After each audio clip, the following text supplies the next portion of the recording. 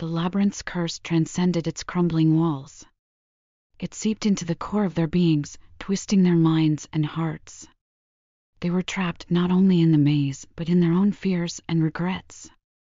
The walls of the labyrinth were a mere reflection of the entrapment within themselves, and until they faced their inner demons, escape would remain an elusive dream.